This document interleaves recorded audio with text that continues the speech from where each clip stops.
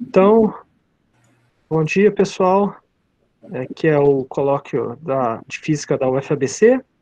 É, hoje, quem vai apresentar o colóquio é o André Jorge Carvalho Chaves, do ITA. É, ele, falando um pouco sobre ele, né, ele possui graduação e mestrado é, em física, graduação em engenharia eletrônica e mestrado em física pelo ITA e um doutorado é, pela Universidade do Minho, é, em Portugal. É, André, muito obrigado por ter aceito o convite é, e a palavra é toda sua. Obrigado, obrigado Breno pela apresentação. Obrigado pelo convite para apresentar, né, principalmente o João Nuno. É, eu vou apresentar aqui um, é, um conjunto de resultados que eu obtive é, é, desde o final do meu doutorado até atualmente. É, basicamente se concentrou em, em, dois temas que se, que se ligam, é, que são extons e polaritons em materiais bidimensionais, em né, materiais 2D. Então, é, antes, antes de começar a falar do, do, de extons e polaritons, materiais bidimensionais, eu gosto de começar primeiro apresentando o ITA, né, porque a, apesar de, ser conhecido né, pela engenharia, né, nós também temos um, um, um programa de pós-graduação em física. Né, em engenharia nós temos seis cursos de engenharia, e em pós-graduação nós também temos seis cursos, né, engenharia aeronáutica e mecânica, é, eletrônica e computação, engenharia civil, ciências e tecnologias espaciais, pesquisa operacional e, e também um, um, curso de pós-graduação em física, que eu, é o qual já faço parte é, que tem mestrado e doutorado. Aqui uma foto né, do, do Instituto, uma, uma vista aérea.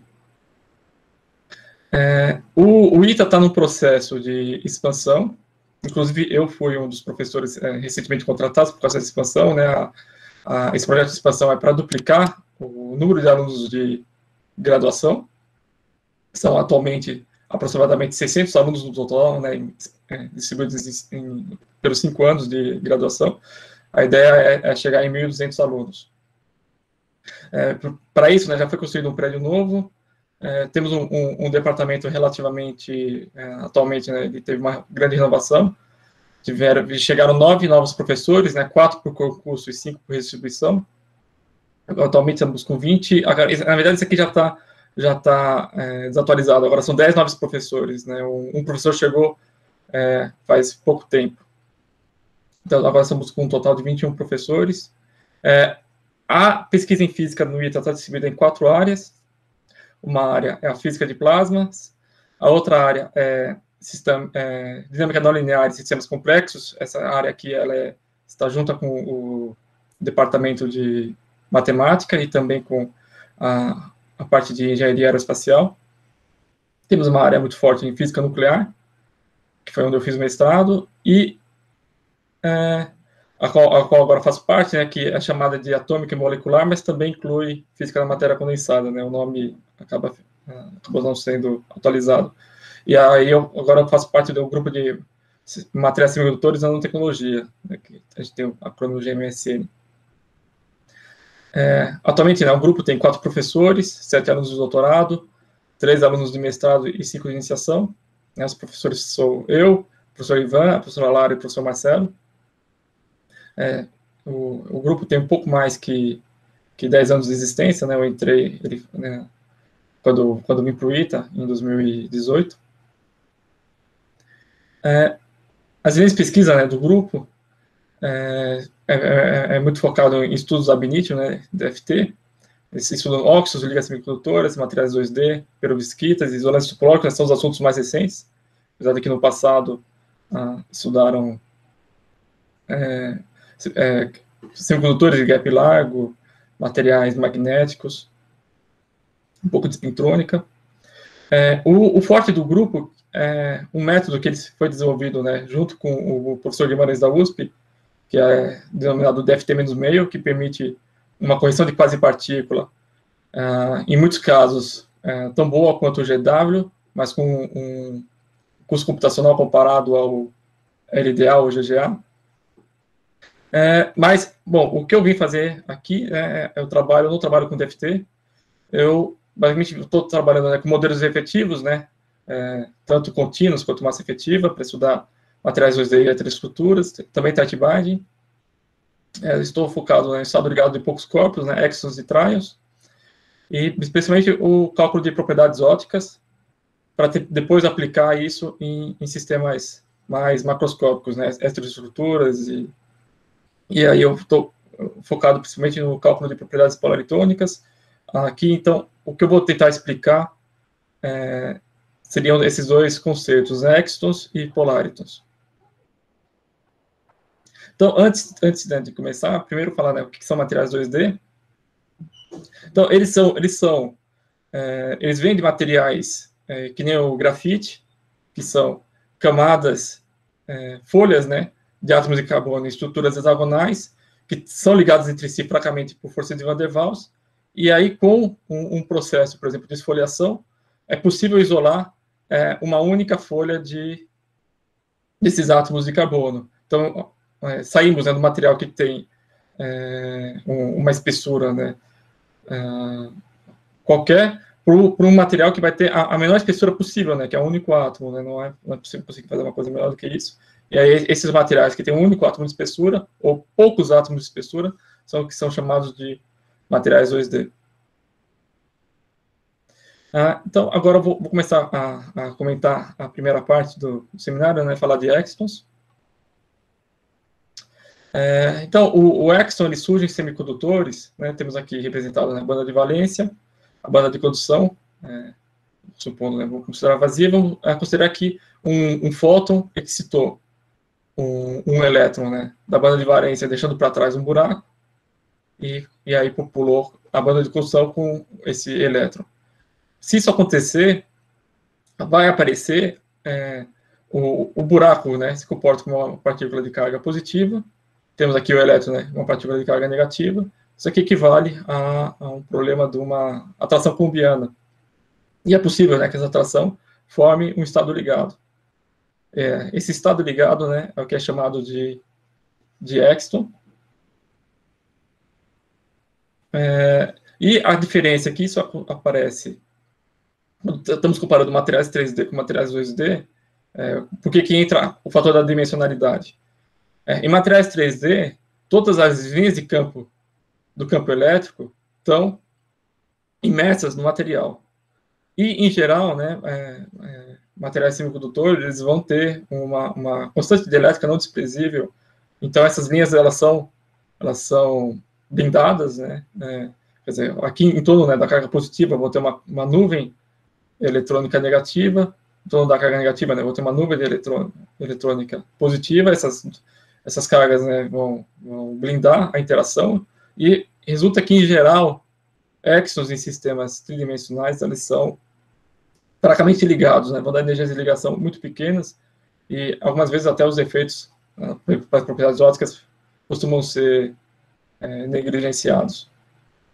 Ao contrário, né, no material 2D, temos linhas de campo que vão passar por dentro do material, mas uma boa parte das linhas vai passar por fora. Então, a, a interação aqui é diferente, por falta da interação ser, ser, ser mais. É, ter menos blindagem, né, ou a blindagem vai depender do que colocamos no meio externo, podemos ter uma interação muito mais muito mais forte, estados é, é, ligados, é, estados é, mais fortemente ligados e um efeito maior nas propriedades ópticas. Uh, aqui, apresentando né, o tipo de, de, resultado experimental que confirma a existência de exons em materiais 2D. Isso aqui é a absorção em uma monocamada de, de sulfeto de molibdênio. É, vemos aqui é, dois picos pronunciados. É, a física desses dois picos está ligada com a, um, uma é, quebra de degenerescência na banda que vem da interação spin-órbita. Então, cada um desses picos está né, tá, tá, tá relacionado com essa quebra de spin, simetria de spin, que parece que isso só vai acontecer em um certo, em, um vale da, da zona de, de Brillouin, de tal forma que no outro vale a, a quebra é, tem, vai ter o, a simetria oposta. Uh, mas esses dois picos aqui estão relacionados justamente com extons uh, que vão, estão na, na, no ponto K da zona de Brillouin. E uh, temos aqui um, um, um, o band gap né, desse material estaria acima de, desse segundo pico. Então, aqui essa eh, esses estados né, de Exos eles são, estão sempre abaixo do é, band gap de quase partícula. Aqui esse, existe um terceiro pico aqui, que é, é, ele também tem uma origem excitônica, uma ressonância excitônica bastante intensa, que está relacionada com extons, ou ressonâncias excitônicas no ponto gama. É, então, né, estou falando de, de, de calcogenetos de metais de transição, eles são materiais que têm um, um para quem já, já viu o pirafeno, né, eles têm uma estrutura cristalina é, parecida, também é, é, é, olhando por cima é um hexágono, mas é, eles não está no único plano, né? É, aqui em, em, mais escuro tem os átomos de metal e aqui mais claro tem os átomos de é, calcogenetos. Então temos o metal, né, alternando átomos de calcogeneto que olhando por cima faz essa estrutura hexagonal a zona de Brillouin é equivalente à, à zona de Brillouin, no caso do grafeno, é, que também será um hexágono. E, basicamente, a, a, temos dois pontos, no caso de, né, dessas estruturas hexagonais, né, temos dois pontos da zona de Brillouin que são inequivalentes, que, são, que chamamos né, K e K', e é nesses pontos que acontece tanto a, a, o fundo da banda de condução quanto o topo da banda de valência, eles se encontram. E é basicamente desses pontos que vivem o, estão vivendo os, os responsáveis por esses picos aqui. Então, temos, é, é, nesse caso, né, nesse tipo de materiais, né, de calculadores metais de transição, é, pra, é, podemos olhar aqui na, tabela periódica, né, a princípio, aqui na, na coluna 6, né, temos o, o, o eu, estava falando do, do, do molibdênio, mas, mas, também temos o, o, o tungstênio, e o crômio. Ah, no caso dos calcogenetos, né, olhando aqui na coluna 16, temos o, o enxofre, o selênio e o, eu sempre esqueço o nome desse aqui, o é. É, esses materiais, eles são, a princípio, né, podemos ter qualquer combinação, né, para formar esse tipo de estrutura é, hexagonal, mas os que são de fato estáveis são só os que combinam é, molibdênio tungstênio e enxofre selênio. Os outros, é, é, não necessariamente, né, eles são estáveis em, em, ou são ou a estabilidade é, é, é discutida. Uh, nessa estrutura, né, na estrutura hexagonal, eles podem ser estáveis em outras estruturas. É, aqui, o, o, o, o, que fazemos, né, é, o que eu fiz, né, foi calcular as propriedades é, óticas desses exons, usando o modelo é, parecido com o que vem da física relativística, né, a equação de Dirac com o termo de massa que representa o gap, e, o, e, a, e a, a, o termo de spin órbita, e fizemos aqui a comparação com o experimento. Também, na metodologia, também fizemos um, um, um modelo efetivo, parecido com o chapéu mexicano, para tratar do ponto gama nesses materiais, e conseguimos um, uma concordância, é, não quantitativa, mas pelo menos qualitativa, com o, os experimentos e a estrutura de picos. Né? Mas, em geral, não há, ah, não há muita. Quer dizer, não, não, não há trabalhos que de fato conseguem é, é, acertar de forma quantitativa os experimentos, porque mesmo os experimentos eles diferem entre si. Então, aqui eu comparei, né? Aqui as são experimentais, é, um, um dado experimento mas se você pegar outro experimento, já vai encontrar curvas é, relativamente é, diferentes. Então, é, como esses materiais né, eles dependem de, de, de, vários fatores externos, incluindo a qualidade deles, a o tipo de impureza que está presente, o substrato, etc. Tudo isso ainda é, é um desafio de conseguir é, descrever de forma completa. Ah, bom, aqui, é, explicando melhor né, essa física que acontece nesses exons aqui no chamado ponto K, a interação spin-órbita faz com que as bandas vão sofrer uma, uma quebra né, nesses pontos, uma quebra de resistência no, no spin. Em cada vale, a quebra acontece por um, um spin de direção oposta, de tal forma que, no, de forma global, a, a simetria ela é, spin é preservada, né? Mas, ah, olhando aqui, as bandas, é, isso aqui seria do ponto K, o, o azul é, corresponde, né, a, tem um gap menor, vai corresponder ao primeiro pico, ao primeiro X, então o primeiro X ali vem, então, de um buraco que vem dessa banda azul, e um elétron banda azul, dessa banda azul de valência, e um elétron aqui que vem dessa banda azul de condução. E aqui em vermelho é, seria um pico, né, de, o, esse pico está com uma maior energia, vem de um, é, de um buraco, né, dessa banda de, de valência mais funda e essa banda de condução. A diferença, né, o, é, existe uma grande diferença entre a, a, a ordem de grandeza na, na, no, spin órbita entre as bandas de valência e condução, né? Condução é quase é, desprezível, enquanto na valência é, é, um valor apreciável. E há também uma pequena diferença ah, entre os, os, materiais que têm tungstênio e os materiais que têm molibdênio. No caso do tungstênio, nós não temos cruzamento entre bandas né, perto do ponto K, enquanto no tungstênio temos aqui uma troca de é, esse tipo de cruzamento, né, e a banda azul sempre a mais é, a, a, banda azul, né, aqui está como a, tanto a, a, valência quanto a condução, né, são as mais próximas entre si, enquanto aqui a, aqui a banda vermelha está né, tá mais próxima da banda azul do que a, a banda azul de condução. É, aqui, esse trabalho é, da é, Emília Ridoff, lá do, do, do, grupo do Caio Levenkopf, comparou vários, vários trabalhos de, de cálculo né, de, propriedade, de propriedade ótica de, de calcogenetos, né, que eles estão mostrando a parte A da condutividade. Uh, aqui, nesse lado esquerdo, eles fizeram a comparação do modelo Tatibide deles com, com vários modelos, é, ou Tatibide ou ou efetivos. E aqui do lado direito fizeram a comparação com os cálculos do FT. Ah, aqui tem em, em, preenchido, né, são dois experimentos diferentes, né, que eles têm, são bem, já dá para ver que os dois experimentos que eles estão comparando já são distintos entre si, e os resultados, é, todos os modelos teóricos, ah, eles são, eles são ah, distintos entre si, né? É, aqui, o que eu fiz, né, aqui numa curva laranja, se acompanhar aqui, ele está até aqui ponto, perto do ponto do, do pico, até que conseguiu uma concordância, é, uma concordância razoável.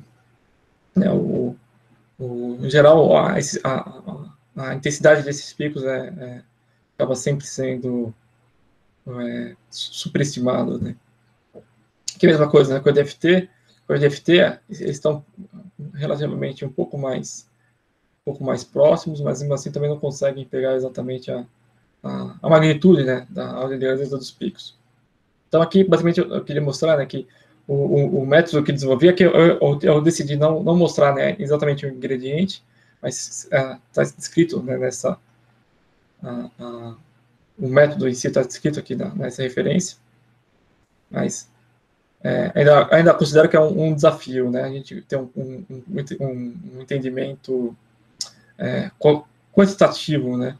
De toda a física que está acontecendo sobre a, a, condutividade ótica, a resposta ótica desses materiais. É, bom, existe uma, uma... André, posso fazer uma perguntinha? Sim, por favor. Tá. Só, só para tentar perceber um pouquinho melhor como são os.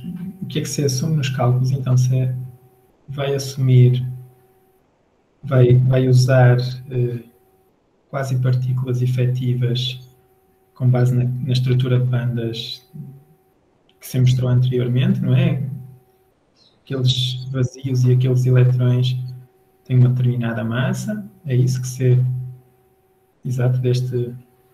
É, isso, aqui, aqui eu estou usando uma, uma equação de Dirac, com o termo de massa, né? É, o, a, eu estou resolvendo uma espécie de Betzel-Peter, então há tanto um termo de uma interação direta quanto um termo de troca.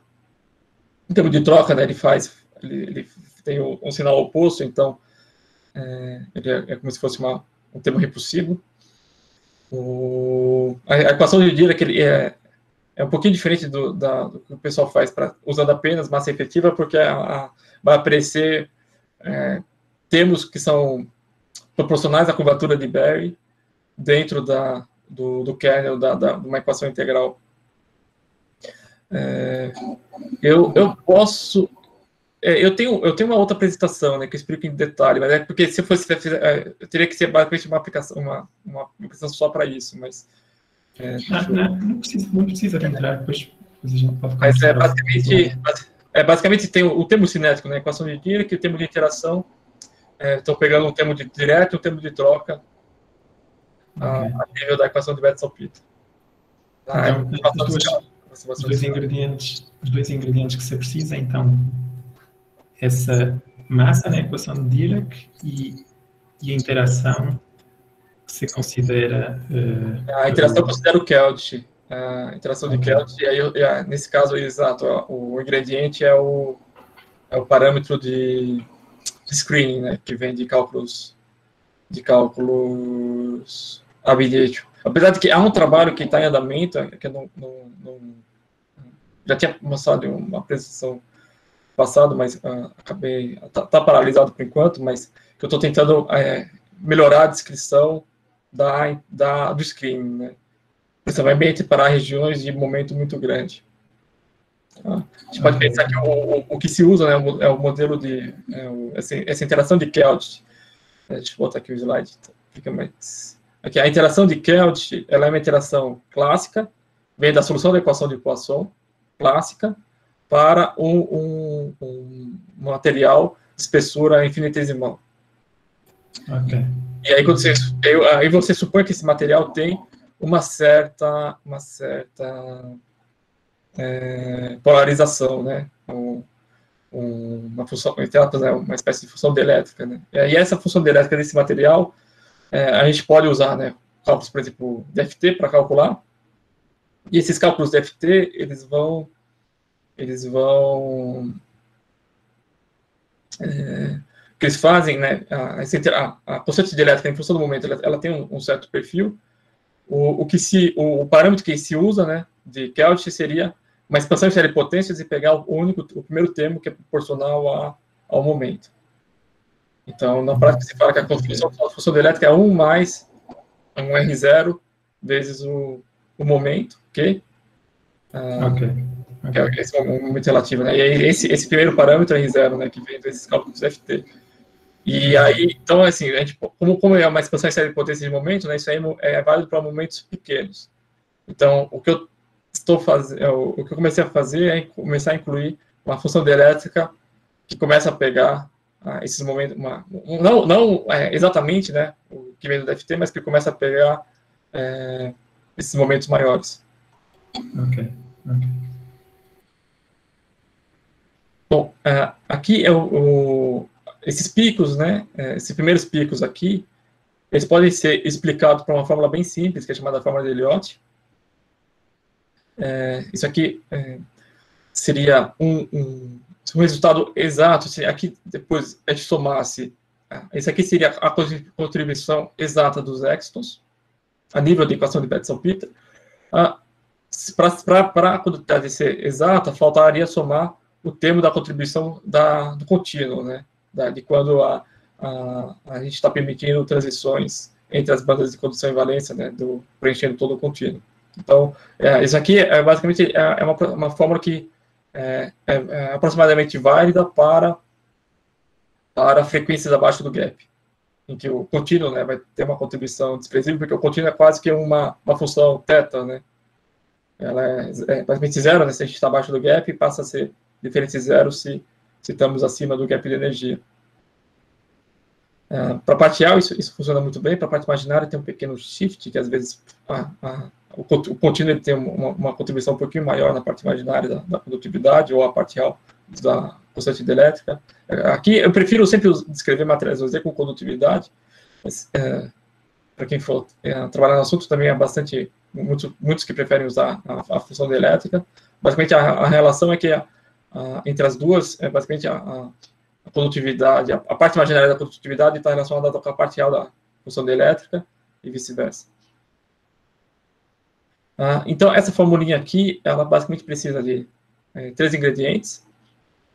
Um seria um, um, peso, né, seria uma espécie de força do oscilador, se a gente pensar é, um, um, algo como uma resposta de um oscilador harmônico, então aqui seria uma coisa proporcional a essa força desse oscilador.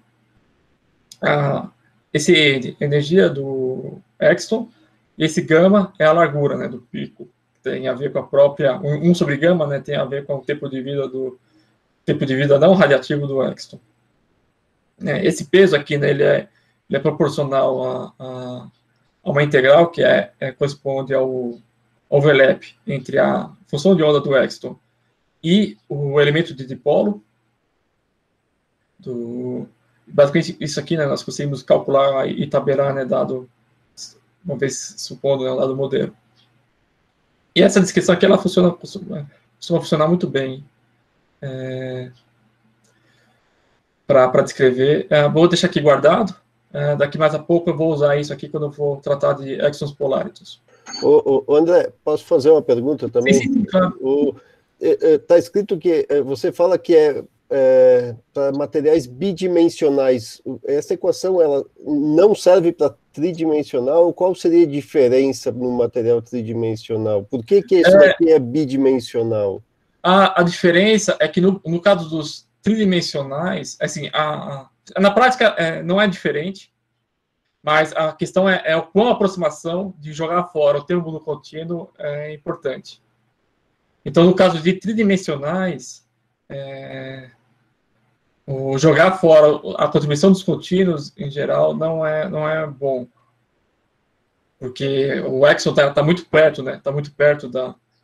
Uh, deixa eu ver, aqui é, aqui, aqui, aqui, a minha falha não foi ter mostrado uma barra mostrando o gap, né? Mas aqui o Exxon está bem abaixo do gap de energia, sei lá, é estimado cerca de 2.4 eletronvolts para o MS2.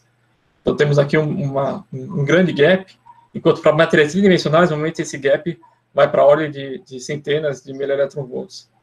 Então, é, o, em geral, nessa fórmula aqui, há uma, uma, uma maneira né, de se colocar um termo é, de forma aproximada, né, o termo que vem do contínuo, é, já levando em conta né, as interações, né, claro, dá para fazer o termo do contínuo só supondo, é, não a nível de, uma expressão analítica, né, não a nível de, de, de Betzel-Peter, mas a nível de RPA. Daria já para escrever um, um, uma expressão analítica para o termo do, do contínuo.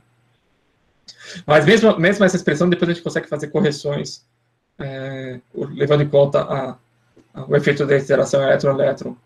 É, isso, isso tem, é, tem uns trabalhos né, da década de 80 e 90 que, que fizeram essas correções. É basicamente isso, mas de fato, não, é, pensando só, só para o X, só a contribuição de Exxon, essa, essa expressão aqui, na prática, seria, seria parecida. A, a, outra coisa que mudaria seria as dimensões, né, porque aqui eu já estou considerando um material é, bidimensional, então, aqui já tem as dimensões de uma condutividade para um material bidimensional, né? é uma condutividade de superfície. Enquanto para o material 3D, as dimensões seriam um pouquinho seriam diferentes, né? Essa, essa condutividade aqui, a gente não, não, não, não, não, não é, daria para normalizar por essa, por essa constante, né? Aqui, bom, aqui eu escrevi de tal forma que aqui tem unidades de energia, né? Aqui tem unidades de energia, então esse, esse termo todo é adimensional. É, bom, a, aqui, então, a, a, segunda parte eu vou falar de polaritos, que daqui a pouco vai se encontrar com essa primeira parte.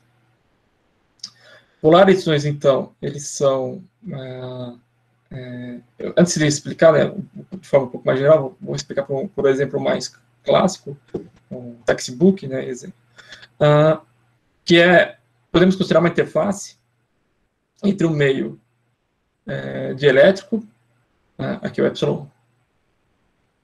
É isso, desculpa. É, epsilon é metal, isso. Epsilon, aqui temos um meio metal aqui embaixo e um meio de elétrico aqui em cima.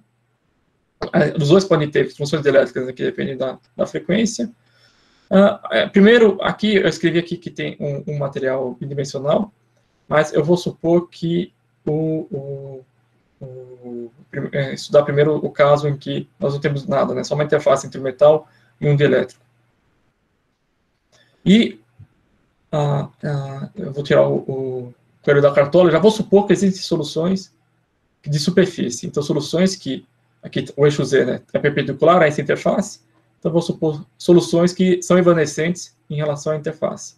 E podem se propagar ao longo da interface, eu chamei a direção de propagação de Y, né, considerando que são materiais isotrópicos, tanto eu poderia ter escolhido YX, né, sem, sem perder generalidade, gostaria que é Y, aqui só tem um errinho, aqui era para ser B em vez de E0, mas eu vou supor que o campo elétrico e o campo magnético vão ter essa, essa, esse tipo de, de de relação em função da posição. Ah, podemos, ah, ah, temos né, lá da, da, da, equação de onda lá do, do eletromagnetismo, né, uma relação entre a frequência, basicamente isso aqui não deixa de ser uma espécie de Pitágoras, né, entre um momento e uma direção, a única diferença é que, como aqui é uma onda evanescente, vai trocar o sinal, né, se fosse uma onda propagante seria mais, mas como é uma onda evanescente aparece menos aqui. Ah, isso aqui vem, basicamente, né, da equação de Helmholtz, né, que vem da é, transformada de Fourier da equação de onda do eletromagnetismo. E, bom, para saber se, temos solução ou não, é, essas funções precisam satisfazer as, as equações de contorno. Então, o que eu vou fazer? Aqui eu tenho essa, é, esse, essa expressão, né? Tanto para é, a parte de cima quanto para a parte de baixo.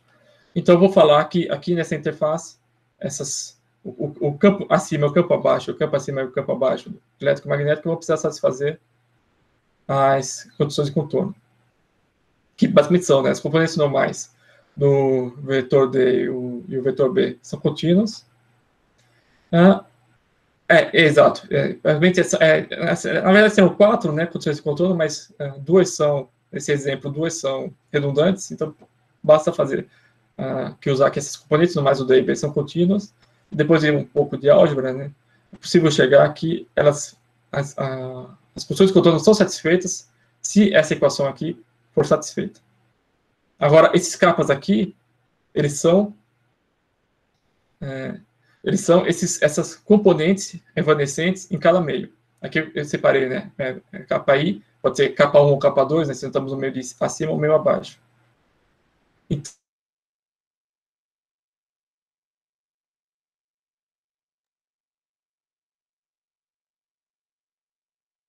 Então, é, eles e uh, temos aqui, né, então, capa 1 e capa 2 são positivos, essa equação só vai ser zero se o sinal de epsilon e epsilon 2 forem contrários.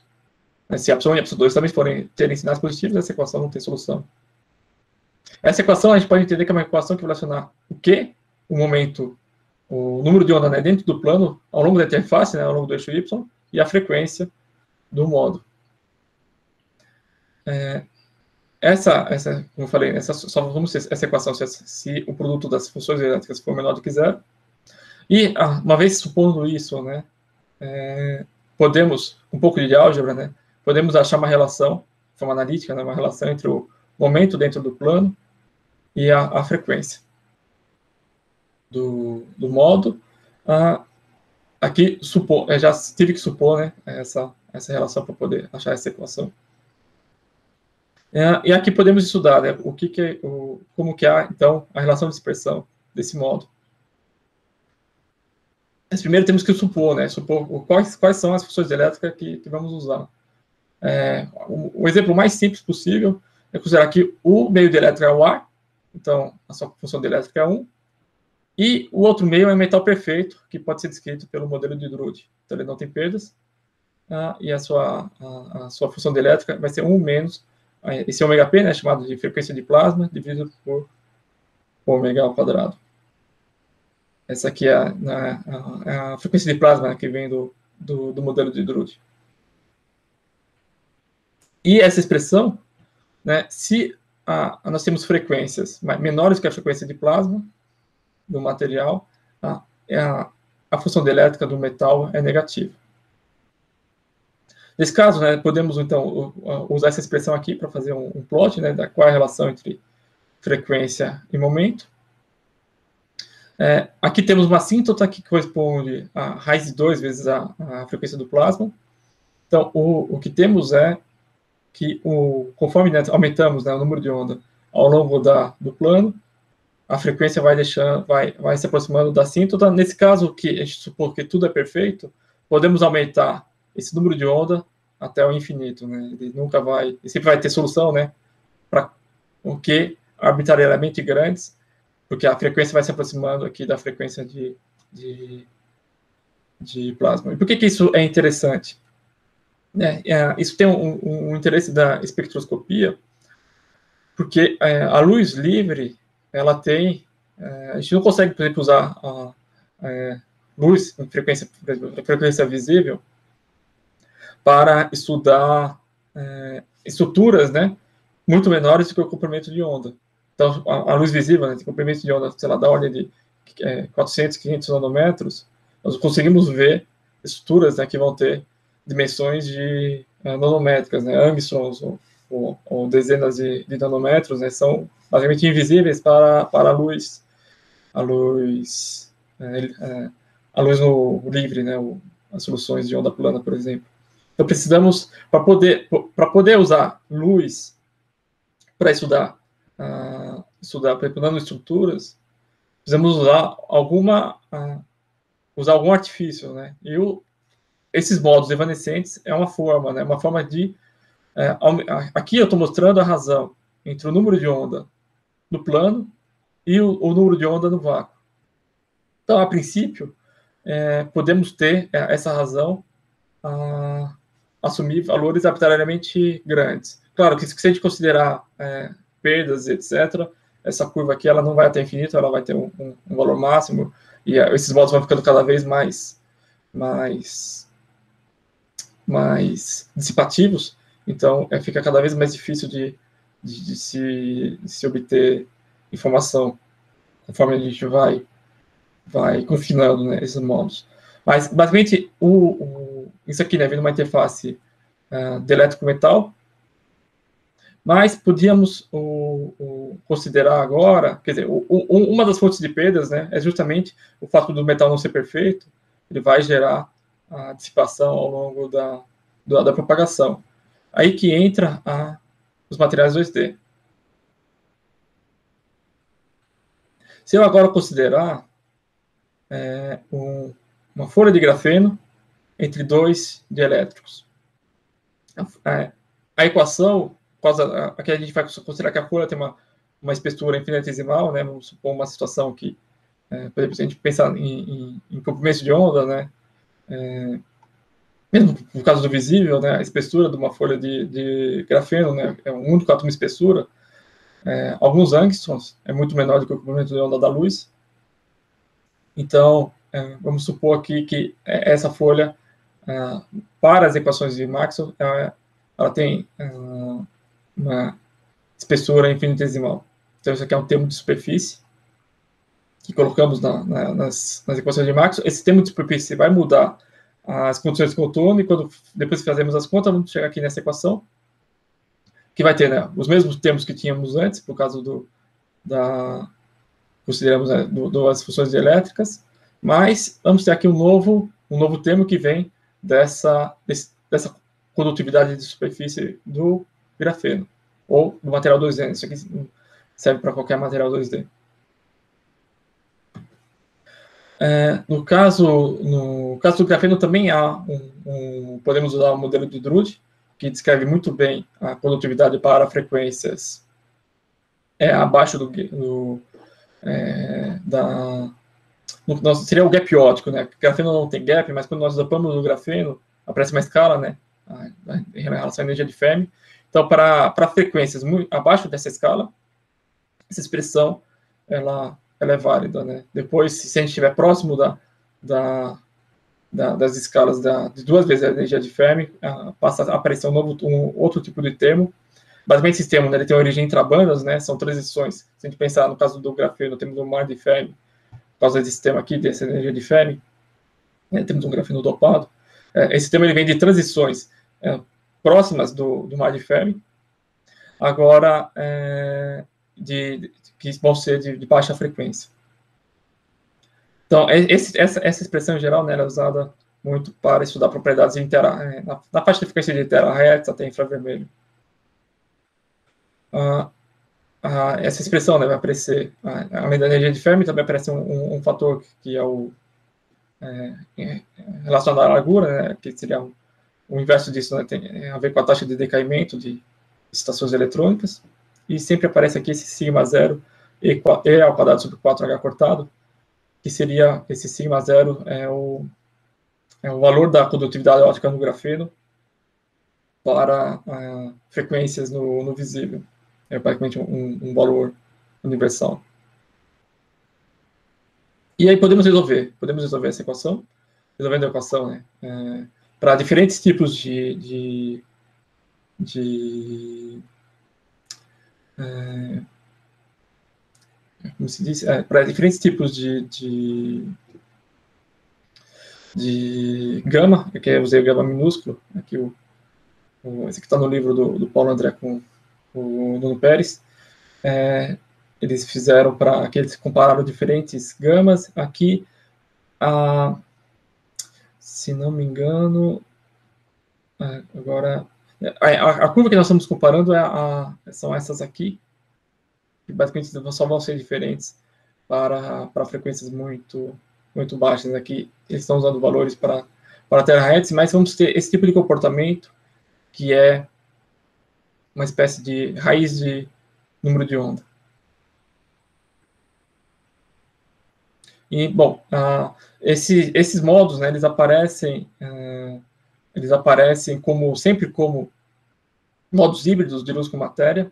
Então, no, no, nos dois casos que eu mostrei, eles são chamados de plasmopolaritos, porque eles vêm, justamente, esses modos variancetes, eles são acoplamento né, da, da luz, né, do modo eletromagnético com as oscilações de densidade de carga que vem da, do, do polo da, da função elétrica, né, que nós chamamos de plasmons.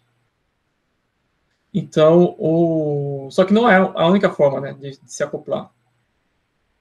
É, então, podemos acoplar né, com, com, com, os plasmos, né, que são esses modos coletivos que aparecem de, é, do, do polo da, da função elétrica em metais. E também aparece no caso do grafeno também, é mesma coisa análoga. Também podem se acoplar com fonos, né, os pontas de vibração da rede cristalina, ou também com exons, que são né, esses estados ligados de buraco e elétron.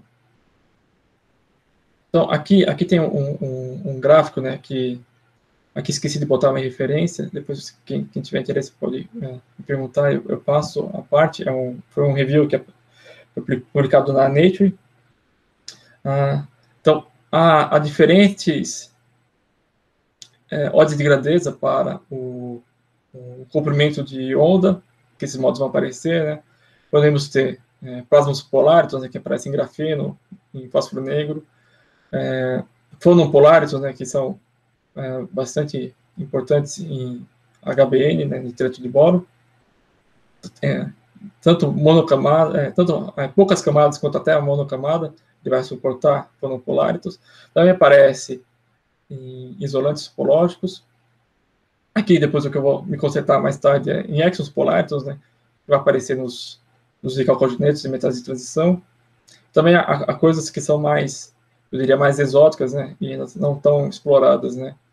É, poláritos é, acoplados a, a pares de Cooper e poláritos acoplados a as oscilações de spin, né, magnopolaritos. Ah, bom, aqui eu fiz uma comparação entre, entre três tipos de, de polaritons. Aqui o primeiro é em grafeno. Aqui o que eu estou mostrando, ela se chama é a função Lois. Ela está relacionada com ah, a parte imaginária do, do coeficiente de reflexão, no, considerando incidência de onda eletromagnética com um, um, um momento qualquer. Isso se relaciona com aqueles experimentos de uh, espectroscopia por uh, perda de energia de elétron. Aqui, então, o primeiro é do grafeno, aqui o segundo são exons polaritons de calculadores de mensagens de transição, eles são bem menos. Aqui, esse, essa parte em azul né, corresponde ao, ao pico da, da, dessa função lois, que é onde o, o plasma, o, o modo, o polariton vive. A largura desses picos tem a ver com ah, esses, esses comprimentos de propagação né, desses modos. Então, vemos aqui que, por causa de exopolaritos, eles são bem mais, ah, bem menos menos definidos, né? E aqui embaixo tem para fonopolaritos em HBN, eles também são bem, são bem definidos. Então, basicamente, né, já foi tanto é, é plasmopolaritos em grafeno quanto fonopolaritos em HBN, eles já são bastante discutidos, mas ainda é um grande desafio conseguir uh, excitar esses exopolaritos em, em metais de transição, eles são bem menos definidos, mesmo aqui na escala de, de picos, né, a, dá para ver que o, os, os valores né, que tanto o fonopolaritos quanto o plasmopolaritos atingem são bem maiores do que, o que os valores de exopolaritos, né, eles são bem menos, são menos definidos.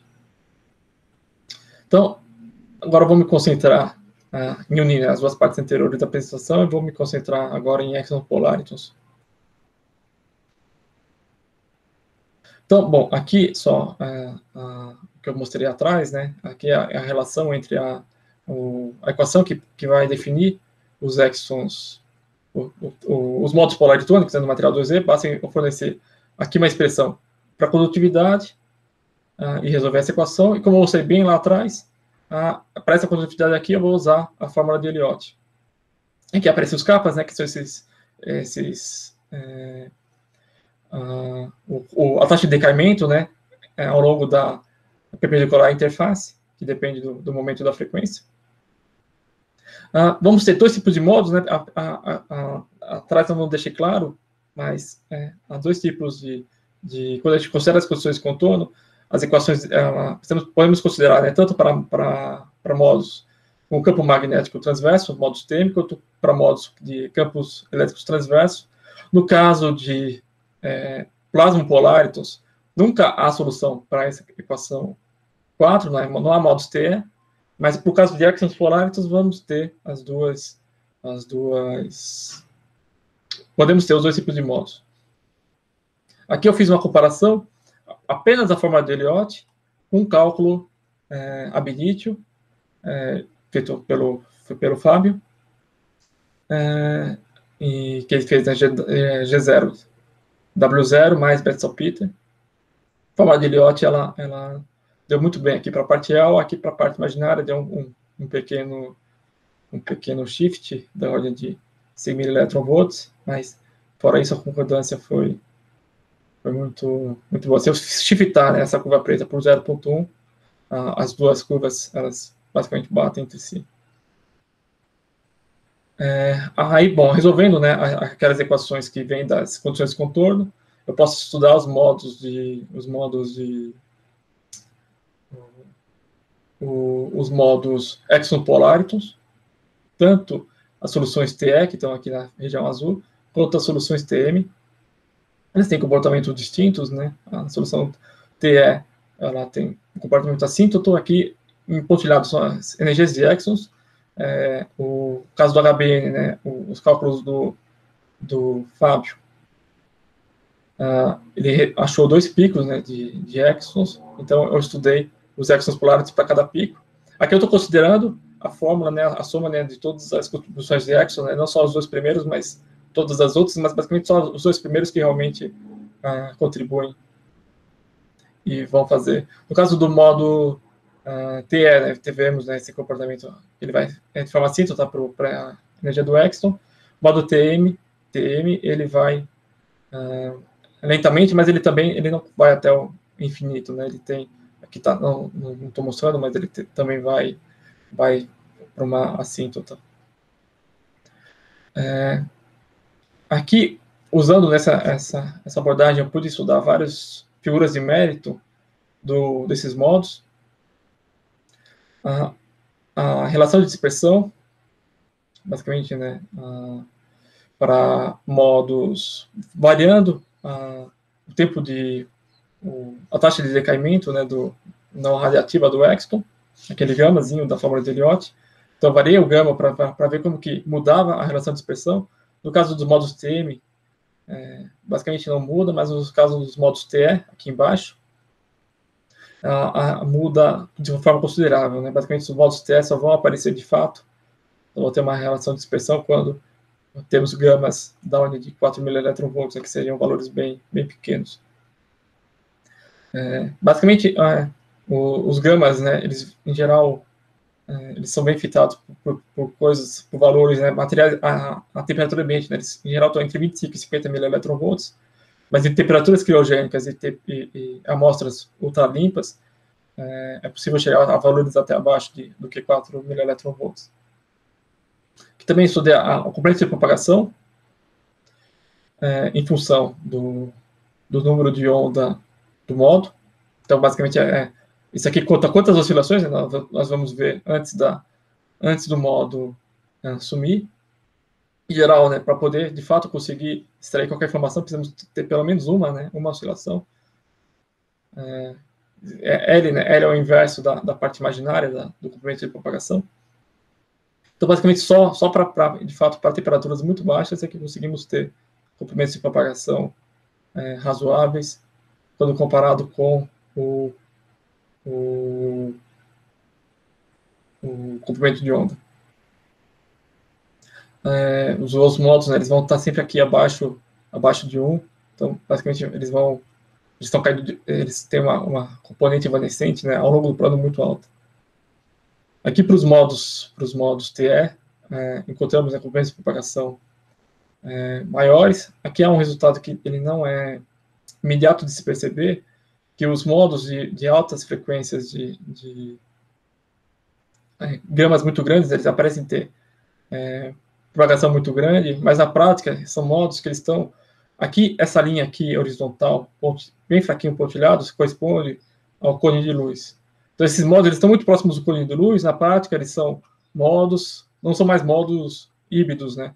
Na prática, são modos, basicamente, eles não estão mais confinados. Né? Eles não estão mais confinados no plano, né? eles já são modos que estão ah, fora do. tem baixo. Ah, um, um, confinamento muito pequeno, né? Basicamente, já, já não são mais confinados, né? Já não estão mais. Já, já estão no limite para não serem mais classificados como, como modo de Exxon Polaritus. E aqui estudam né, o, a zona de confinamento. No caso do modo TM, é, depende muito pouco desse, dessa faixa de decaimento, mas no caso dos modos TE, também depende muito. Então, os modos, os modos, basicamente só vamos ter confinamento também para, para frequência, para energias muito pequenas, né, de é, larguras muito pequenas do pico. Bom, aqui agora vou apresentar um trabalho é, que estudamos né, exos em cavidades. A ideia era estudar a absorção unitária, né, conseguir uma situação de ter 100% de absorção de luz. Basicamente, a, a, primeira pergunta é qual é a máxima absorção que o material 2D pode ter quando, estiver, quando está suspenso? É, é, e a gente pode responder essa pergunta escrevendo a, a absorção isso aqui vem né, das equações de, de Maxwell. E, em, aqui escrevi em função dessa da condutividade vezes a permeabilidade magnética do velocidade da luz, C. É, nessa expressão aqui, uh, vou tratar agora essa função f como uma função qualquer, que tem uma parte real e uma parte imaginária. Ela é uma dimensional, então fazendo SF de ômega igual a x mais y, pegando as derivadas né, em relação a x e em relação a y, a gente pode achar o valor, né, o, o, o valor que maximiza, então a solução vai ser y igual a 0, x igual a 1. Quando substituímos de volta, vamos achar que essa, a máxima absorção que o material pode ter é meio. Então, é, esse é o limite, né? esse é o limite teórico de um material 2D suspenso. Uh, isso aqui foi obtido lá nessa, nessa PRL de 2012. E agora a pergunta, né, como que podemos ter é, absorções né, maiores do que 50%. Então, a, a, a proposição foi colocar o material 2D, ele está encapsulado justamente para manter suas propriedades, né, mas não só por isso. Aqui, a, a, o comprimento a espessura da, da, da, da, camada de baixo, aqui é, o material, o WS2, é, entre folhas de HBN, a, a, espessura desse HBN aqui de baixo, ela foi é, projetada de tal forma que no material 2D, uh, devido aqui à presença desse ouro aqui embaixo, que na prática funciona como um espelho, o campo elétrico aqui no material 2D vai ter um máximo. É, então, nessa, né, para essa, essa geometria aqui, né, então HBN, material 2D, HBN, material 2D é o WS2 e ouro. O ouro está aqui, acho que em cima de safira, mas isso não, não faz diferença. o que realmente importa é só o, o, a espessura do ouro. É, é, o ouro é espesso o suficiente né, para basicamente não deixar é, todo. Não há, não há onda eletromagnética, atravessando o ouro, né, tudo evanece dentro dessa espessura.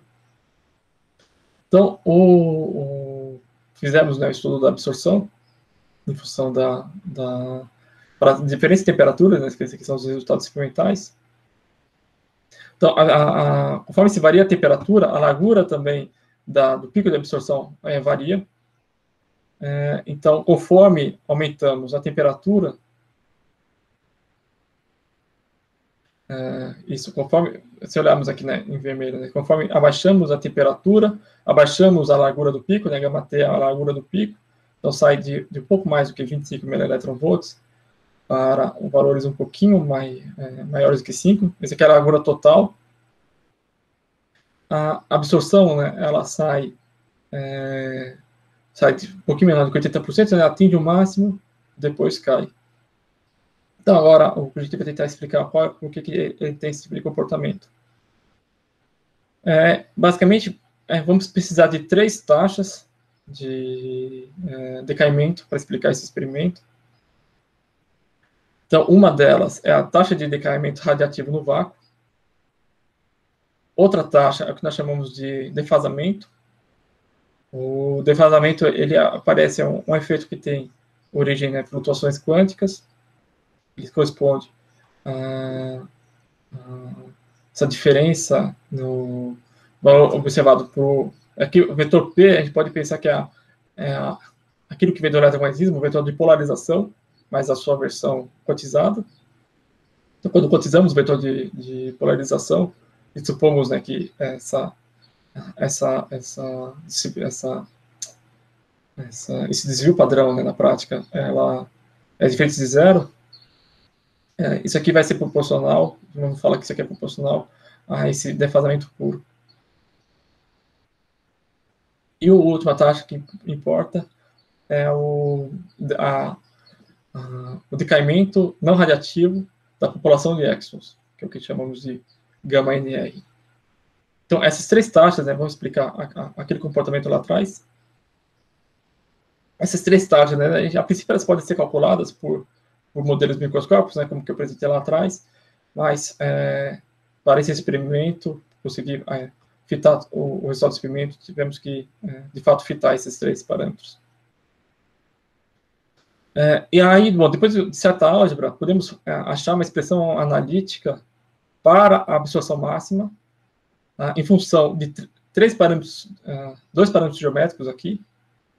Esses zeta1 e zeta2 são ah, zeta, desculpa, xi1 e xi2 são, são parâmetros geométricos uh, que vão, na prática, eles, eles vêm né, da, da, da estrutura é, dessa estrutura por, por, por, camadas, né, desse, desse, dessa estrutura, né, aqui, por exemplo, falando, temos ar, HBN, material 2D, HBN e ouro, então usamos aqui matriz de transferência para tratar disso, e aí com um pouco de, de álgebra e algumas aproximações, conseguimos chegar aqui nessa expressão que relaciona né, a absorção a, a, esses parâmetros do, do modelo.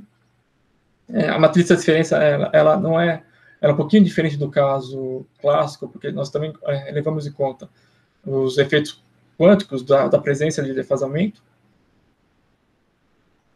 E aqui temos o, um, achamos também uma relação, de forma analítica, uma relação entre a largura do pico de absorção e essas três taxas. E aqui vai aparecer um, um, esse parâmetro zeta, que corresponde é, a, a uma espécie de efeito Purcell, que vem da cavidade. Né? Então, esse, esse aqui também é um fator geométrico, né? depende da, da geometria né? dos materiais que estão lá dentro. É, quando eu digo materiais, esses materiais eles são todos menos o material 2D. Né? A física do material 2D está nesses três constantes, né, que está relacionado aos exos do material 2D. Os outros parâmetros, né, os QCs e o, e o zeta, eles dependem do, do HBN, e das espessuras do HBN do, e da frequência de operação, né, do, do, do pico de absorção. Essa expressão aqui, ela, ela prevê que haverá um comportamento parabólico se o defasamento for, for pequeno, se a gente puder desprezar esse tema aqui, a gente tem um, um comportamento parabólico entre é, essa razão, a gama R sobre gama T, e absorção. Quando nós estamos variando a temperatura, na prática, a, a, esse tempo de vida radiativo é, é praticamente insensível. O, o que está alterando é o gama D e o, o, o gama NR que é o, o comete de vida não radiativo. Né? A gente pode pensar que isso aqui, por exemplo, tem a ver com recomendação com, com fonos, disparamento uh, exon-exon, etc. E aqui, bom, aqui é o resultado dos resultados experimentais, é, e aqui uh, são, são curvas para diferentes é, razões gama D por gama T. Então, eu variei essa razão e fui vendo como que a curva variava, é, quando nós estamos com temperaturas muito altas, essa razão, o gama D sobre gama T, acaba sendo pequena, porque basicamente o, o parâmetro gama NR ele passa a ser muito grande. Então, é, essa razão vai, vai ser muito pequena a, a, a temperaturas grandes. Então, a temperatura grande é, seria alguma coisa mais ou menos esperado, né? É, efeitos quânticos não vão, não vão desempenhar um papel a temperaturas ambientes. Todos os custos, basicamente, eles, eles caem é, dentro dessa uh, aqui dessa parábola. Aqui a, a, a parábola né, seria a, o, to, o, o, pico nessa, dessa curva aqui. Uh, se, se, tivéssemos, né, se o gama D for, for zero, podemos ter absorção, 100% da absorção, mas para uh, esse regime não, não, não, não conseguiu ser atingido, né, chegou um pouquinho é, relativamente próximo de 90%, né, o máximo. Então, basicamente, é essa, essa diferença em relação a esse pico, basicamente, é o, aparece devido a esses, esses efeitos do, do defasamento. Ah, aqui, ah, então, temos o, o é, os, aqui, aqui, esse primeiro gráfico, temos é, vários resultados experimentais, e é, comparamos né, com várias curvas para é, defasamentos constantes, né, que a princípio não, é, como se não dependesse da temperatura, conseguimos ver que um, alguma coisa muito próxima de uh, 45 milielectron, 0.45 milielectronvolts, né, é, pega basicamente os dados, os dados experimentais. Aqui tem esse, esse, esse gráfico triângulo, ele mostra a absorção em função da, da, da dos, dos, da, dos três parâmetros, né? Como é, o gama T ele está restrito, né? É, o gama T ele, ele corresponde a essa a, a soma né, desses três gama R0, gama D, gama NR. Se eu dividir tudo por gama T, a soma desses três parâmetros é 1. Então, por causa disso, eu consigo fazer esse tipo de, de gráfico triângulo. Uh, então, temos aqui basicamente um regime de, de alta absorção, acontece né, para pequenos gama T's, gama D's, e quando essa razão, gama NR sobre gama T, é igual a razão é, igual a meio, o que significa que digamos, ah, o tempo de vida não radiativo e o tempo de vida radiativo, né, emitindo o fóton, é, corrigido pelo fator de curso, eles são iguais. Aqui, esse gráfico, ele na prática, é uma forma é, parecida de se ver essa, essa, é, essa parábola aqui, só mostrando né, que, de fato, temos uma espécie de é, comportamento, né, absorção vezes a largura, é, em função do inverso da largura, ela dá retas. E, basicamente, as diferenças em relação a essa reta só são, são a origem do, do defasamento. E, por fim, usando né, o, o, o minimizando a, os erros, extraímos né, os valores de cada dos parâmetros gama NR e gama T, supondo que o gama R não depende da temperatura. É, bom, os trabalhos que apresentei aqui, né, eles foram feitos uh, durante o final do meu doutorado e, e no comecinho do, do, do meu do, da, da, da eu no ITA, é, foi o, na época, meu orientador, né, o Nuno Pérez, o Ricardo Ribeiro o Fábio Ferreira, responsáveis pelo, pela, pelos cálculos FT que eu apresentei. Ah, no, o, dados, o, o, que eu mostrei de, de, dessa última parte do experimento foi feito pelo grupo do Frank Hopkins, né, liderado pelo o, o Itai, ele fez a, a, a parte, ele fez a, uma parte da parte experimental, né, apesar de que a experimento sim, né, teve, teve vários outros, outros colaboradores. E o, no ITA, o Tobias Frederico ele também participou do cálculo de extons em materiais 2D. Bom, aqui os trabalhos de andamento. É, tenho aqui, estou uh, estudando extons polares em, em, estruturas periódicas, né? Michel, aluno do doutorado da UFC, né? Pedro, é aluno de iniciação aqui do ITA. E aqui é o, é o professor Diego, lá da UFC. Nós estamos estudando né, como que extons polares vão aparecer em, em, diferentes tipos de heteroestruturas.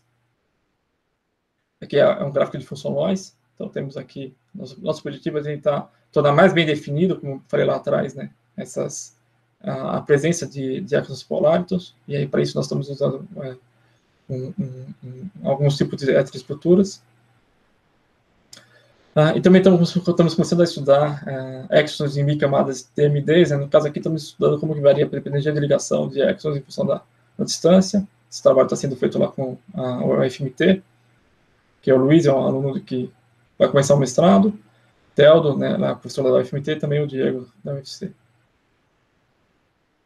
Bom, o, meu doutorado né, foi financiado pelo Ciências Sem Fronteiras, acho que foi um, dos últimos sortudos em, em, com esse programa. É, o CNPq, né, lá no Zé Domingo, e o, e o ITA, a, a parte final né, dos. Ah, bom, e agradecer. Muito obrigado, André. É, a gente abre para perguntas. Eu, eu tenho, André, na, naqueles primeiros resultados que você mostrou é, da, da fórmula de Elliott, é, aquilo foi comparado com, com resultados experimentais? É, é, confrontados? Na, na, prática, deixa eu mostrar aqui, eu comparei, né, é, eu comparei com o meu próprio cálculo, né? É. Na, eu comparei, que depois também aqui, né? Esse cálculo aqui, é, esses picos aqui, de fato, eles são muito bem descritos pela fórmula de, de Elliott. Então, eles são, é, nesse caso, eles dariam ah, basicamente o mesmo, o mesmo valor. Tá. É, e, e a outra coisa, é, vocês chegaram a, a, não sei se, se é, é porque é de meu interesse a parte de ótica não linear, né, ordens superiores de é, como se, comportamento desses materiais, né, porque eu vi algumas coisas de geração de é, estados quânticos, essas coisas em, em grafeno, né, é, mas aí não sei se, por exemplo, dados os resultados que vocês encontraram, também já, por exemplo, igual a gente usa a equação de Silmaia para olhar ordens superiores. É, é né? É, eu comecei, eu, eu, eu comecei uh, é, talvez eu consiga colocar, ter é, um estudante começar a estudar isso, mas ainda está bem, ainda é bem ainda está bem no início, né? Não, ah. Mas eu, é, para a parte não linear, é, eu tenho uh, já conversado com o Teldo, ele, ele já estudou, usou é, QCLs, né, lasers e cascata quântica, então já está com algumas ideias em andamento. Vamos, pretendemos né, começar em breve a obter, a calcular propriedades não lineares. É, isso foi uma coisa que eu comecei, mas está bem, bem no início. Tá. E aí, depois a parte de ótica, ótica quântica, isso ainda também está. Também comecei, mas também está bem. No início, talvez, se der sorte, consiga um estudante para começar a trabalhar nesse assunto. É. Fico na, ansioso em saber os resultados. Ok, obrigado. Obrigado pelo seminário. Mais alguma pergunta? Eu, eu... Gustavo, Bom, palavra toda sua. Obrigado, André, pelo, pelo, pelo talk. Uh, bem, bem interessante, mas eu queria que, só, se você pudesse fazer um comentário um pouquinho geral, assim, uh, uh, sobre quais são os, os desafios pra, de, dessa área, ou qual é que é o gargalo dessa área para calcular essas propriedades de estados excitados em materiais bidimensionais. E, e, quer dizer, como é que você compara isso com os gargalos da, do, do, dos tridimensionais? Você podia comentar brevemente sobre isso? É, assim, comparar com os tridimensionais, eu vou ser sincero, eu não, é, eu não sei quais são os, os, é, os gargalos em tridimensionais, eu nunca, nunca estudei a fundo. O que eu, o que eu vejo que, em geral, é, é, é muito mais é, na maioria dos materiais é muito mais. É, efeitos excitônicos né, são muito mais. Em geral, são, são desprezados né, com, com maior regularidade.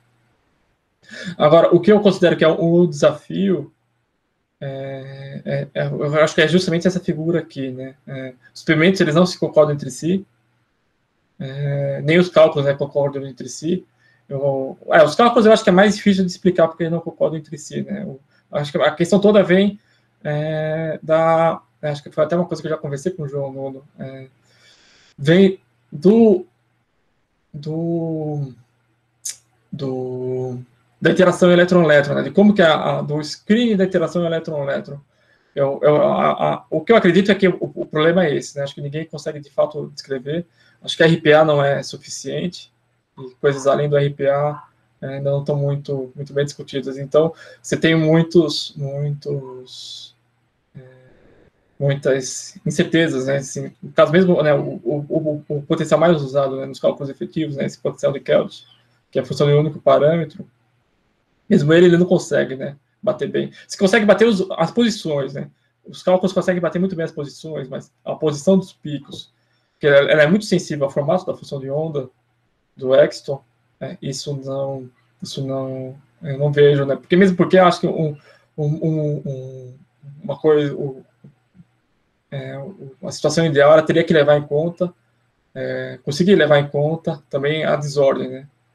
Que acho que essa seria a forma de conseguir explicar diferentes experimentos. A diferença entre diferentes situações é basicamente a, é a desordem do material, né? o tipo de desordem que é no material. Então, eu acredito que esse seja o, o, o gargalo para uma descrição mais quantitativa, né, das, das, das propriedades exóticas, né. Eu não entendi desordem, quer dizer, você fala em desordem, que tipo de desordem você fala? Porque é uma folha perfeita, em princípio. É, o que eu considero desordem é, é como colocar, por exemplo, você é, nunca tem, você sempre, sempre vai ter é, é, dopagem, né? Querendo ou não, né? Sempre vai ter um, um pequeno grau de dopagem. Acho que isso é, né, com certeza, uma fonte de desordem. É, esses materiais, eles, em geral, eles vão estar sobre o substrato, então você vai ter esse acoplamento com o substrato, os modos de fono do substrato, etc. Acho que tudo isso vai, de certa forma, afetar. Eu não sei o quanto, quanto de fato isso. Uh, o, acho que isso, isso nunca vi assim, um artigo que realmente consiga colocar tudo isso de uma forma que possa descrever né, diferentes, diferentes. Já o grafeno isso já foi feito, né? Já teve é, trabalhos que, que, conseguem correlacionar né, as amostras com tipos de defeitos de curto alcance, é, longo alcance, né? Os, ah, etc. É, é, e aí meio que um, explicar de uma forma geral né, a, a variância que há nos dados experimentais.